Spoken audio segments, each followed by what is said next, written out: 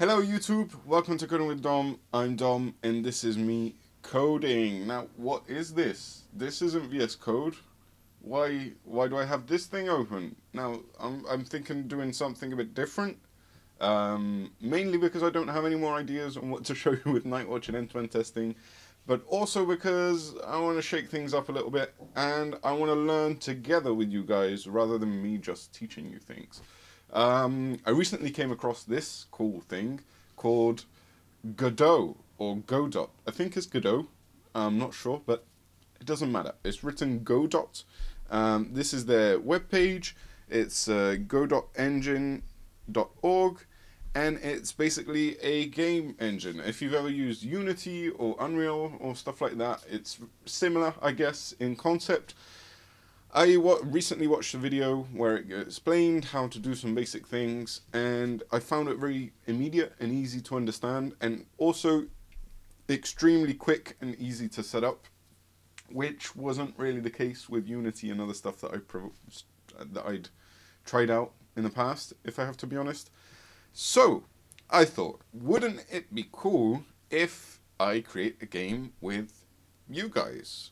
What do I mean by that? It's like, um, I'm, I'm going to try and, you know, create the basic setup today. Like, just create the outline of a game. Like, not even that, but, I don't know, the, the basic building blocks for a platformer. Okay? And I hope that this will get some people interested in this thing and that we can kind of build it together. That you can suggest what I should add on to it, what features I should add, what this game should be and look like, and then we can build it together. I I don't know. I don't know. It's an experiment. I don't know what's going to come out of this, but um, at least you'll see how Godot works. At least the basics, and we can go from there. How about that? So let's jump right into it. Um, all you have to do if you want to install it is go to godotengine.org, download. Um, I think it's available on uh, Windows. It's even available on Linux, so you can download this uh, for any any platform. I think it's very lightweight. It didn't seem I don't remember, but it wasn't very big download. It was a very lightweight download. And the really cool thing is all the documentation is offline, so you could potentially turn internet off and on a plane build your game because all the documentation is inside this thing. It's really, really cool. Um, so I'm going to start with a new project and a new game project. Let me call it My Little Platformer. Okay. Um, it's going to look for an empty folder, so I'm going to create something in here called uh, Godot and inside this I'm going to create my little platformer okay select current folder create I'm not sure what this decision is but this is default so I'm just going to go with that create and there we go it's opened up the game engine so let me yeah that's not going to look good is it alright I'm going to stick with this layout I think we can see the various things more or less. Yeah. Yeah.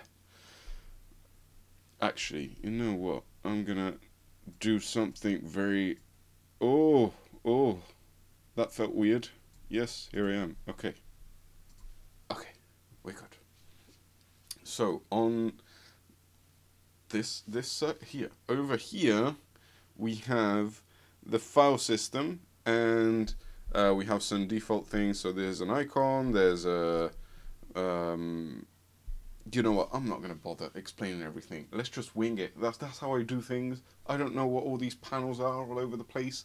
Let me just build, and then we'll, you know, you'll figure it out. You're smart people. Um, so we're gonna do a 2D game. I don't want to do a 3D game. That seems very. That's like terrifying to me. So we're gonna start off with a 2D scene. Um, what we want to do is create a root node. Now I see that um, it recommends some things, but the way I saw it was just by creating a default node. So you can imagine this node as the world, okay? And I'm gonna call it that world. This contains everything. This contains all of the game stuff, assets, sprites, things. I, I'm trying to maintain like a teacher mentality and explain things as I go, but I don't really know what I'm talking about. So bear with me. I, I hope it's entertaining at least. It might not be, but there you go. That that's what it is. Um, so inside this world, I'm gonna create a not a sprite. I'm gonna create a what's it called? Kinetic body. Okay. So this kinetic body thing is basically a type of object that already has some physics. It's it knows what physics is and it knows how to react to physics and stuff like that. So that's more or less it. Um, so we're going to create that and this is going to be my player. Okay, and this needs a uh, like a physical presence in the scene and to give it that physical presence I'm to give it a sprite. And seeing as I can't be bothered to download stuff right now, actually, you know what? Let, let's let's download something. Let's let's do things decently. Um, metal slug characters, PNG transparent. Come on, yes, that's what I'm looking for. That's exactly what I was looking for. Da, da, da. Download. Can you please free download it? I'm not a robot. Seriously? Seriously, Google. Ah, chimney. I don't know. These. Chimney, chimney. Yes. Can you please download it? Thank you. Will this work? Ah, nice. It worked. Okay. So now that I have my character thingy, what I'm going to do is move that onto the texture over here and I definitely need to scale this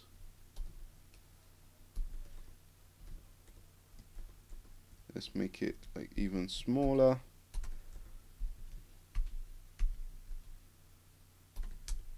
okay so that, that looks good more or less it's alright I guess um, then uh, this is my thing.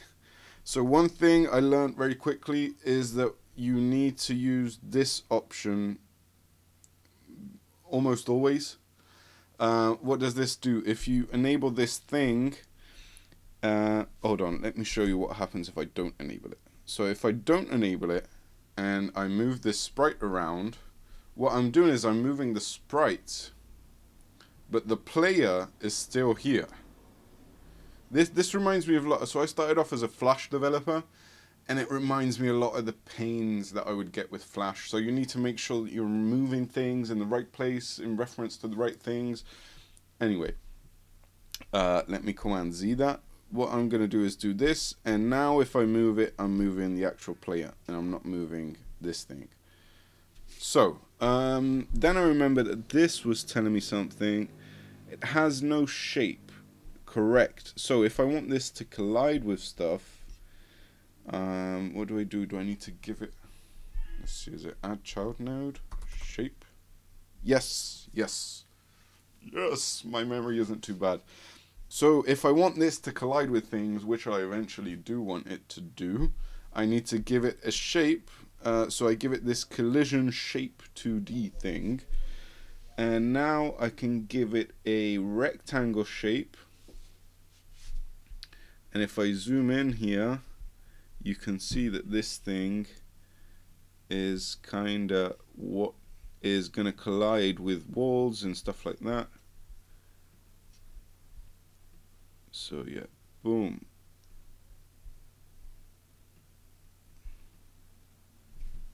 yeah that'll do that, that looks good actually I'm, I'm annoyed by this so can I move the shape I guess not Okay, that's fine. That's fine. Boom. Yeah, I'm happy with that. So this is our player in the middle of this world. Oh, by the way, this blue box is going to be our viewport. So if I play, press play right here, this scene has never seen, been saved. Yes, please save it. This is my world scene. Yes, I should see a character in the middle of the screen. It's like we already have a game. I could just close the thing. We're done. We put it on Steam, make some money, profit. No. So, um, this thing has to, you know, if if I press play, and main scene, yeah, seriously, didn't we do this before? Okay. And you know, I can't interact with it. I want this to walk left and right and to jump and stuff like that, and it's not doing that. Um, so if I want it to do that, what I have to do is select this player and then add a script right here. And there's this programming language called GDScript uh, it kind of looks like Python, but it's not quite Python. Um, and you can see here that it inherits this kinematic body 2D thing.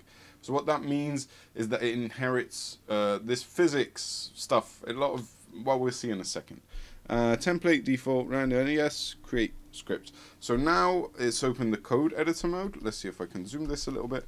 Um, and you can see that now next to the player I have this script button which means that every time I press this I'll go back to the script for this player. And I can switch back to 2D and script also here. And it's nicely documented already. This boilerplate code is already explaining some stuff. Uh, declare member variables. So I can declare variables with var a bit like JavaScript. This is a function. So this is like the setup function. And then there is a process function that is called every frame. Um, now, what do we want to do? We want to be able to move this thing left and right. Um, to do that, we're going to use a variable called motion, which is the way that my thing is moving. And this variable, I think, is going to be a vector. Yes.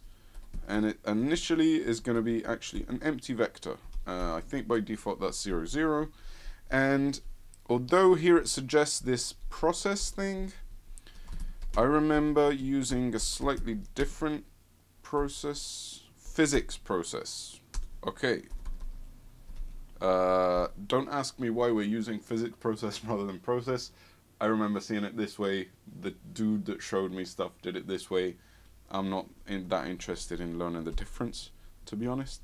Um, I don't think we're going to need ready so basically, um, you can see, well, let's do it this way. If I go onto kinematic body, uh, what was it, command click on Mac, I guess control click on something else, it opens up the help page for this class, which I inherit. As a, seeing as my player it is a kinematic body 2D, it inherits all of this, these functions, all of these properties, and it inherits also all of the properties from all this stuff because the kinematic body 2D inherits physics body 2D. So if you're used to reading documentation, this stuff will all make sense to you.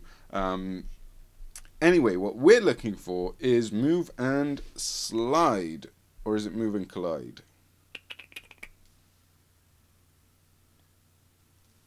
I think it's move and slide. Yeah, move and slide moves the body along a vector. If the body collides with another, it will slide along the other body rather than stop immediately. Yeah, that, I think I think that's what we want.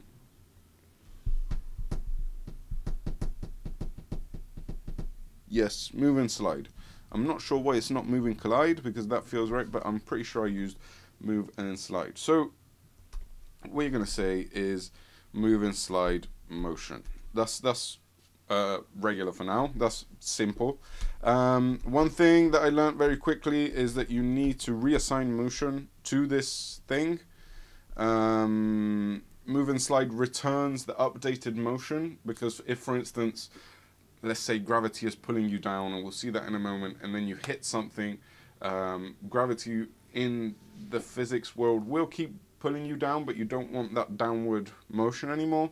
Uh, so that's why you want to update. It's complicated, but it works. Trust me. Um, yeah, like I said, I'm trying to teach things because that's like my instinct, but I don't know what I'm talking about. I'm just trying to build it. Why, why don't I just build it instead of trying to teach? I don't know. What do you think? Let me know down below in the comments. Let me, don't leave a guy hanging. Let, let me figure out what, what I need to do with these videos. I don't know. I bought a green screen.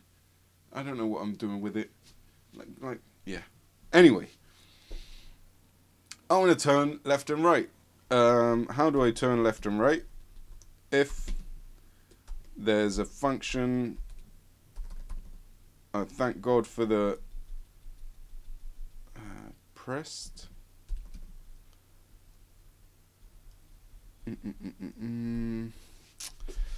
See, there is there is like uh, autocomplete, but it's not helping me. Um, is it's like is pressed mm, input. There's like a just just something. Ah. Let me see how I can figure this out.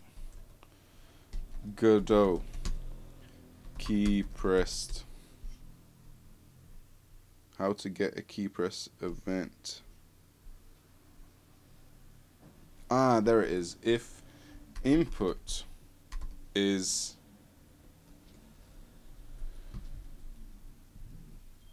is it action? Action pressed. Yes, yes, here we are. Google search for the win. Right.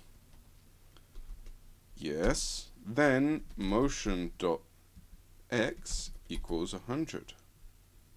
On the other hand, if input dot is action just is action pressed UE left.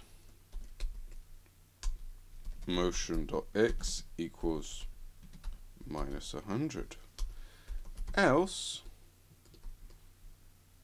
where is it complaining? Do, do, do, do, do. okay okay I like I don't know let's see how it goes because I'm not very optimistic about this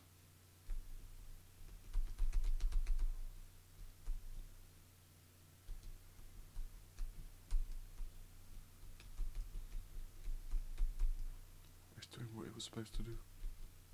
I really wasn't expecting that. Okay, so uh, I'm gonna I'm gonna cut it here because I'm already so excited. But I want to give you a chance to get some ideas, send stuff in, um, and see if this if people actually find this interesting. So if you did, and if you do want to see me build this thing, please leave a like on this video, and I'm gonna have a very low um, what do you call it threshold for for deciding whether you're interested in this, which is if I see five likes, I'm gonna say okay, there are people actually interested in this video. I'm gonna make something out of it, but I'm gonna stop trying to teach you what I'm doing because I don't know what I'm doing. Um, we'll, we can get together. We'll figure it out together. I'm also thinking about doing a live stream while I do this stuff because then maybe people can help me out in the chat. Um, and we can do like a mob programming kind of thing, which could be cool, I guess. Um, I usually record on a Saturday morning. That's what it is right now. Would you be around on a Saturday morning? Would you be interested in watching me do this stuff on a Saturday morning? Again, let me know down below in the comments. If you enjoyed this video, leave a like. Subscribe if you want to see more. If you want to see me go back to testing and talk about other stuff, let me know. I want to get the conversation started here. So, um, yeah. Thanks for watching. I'll see you soon.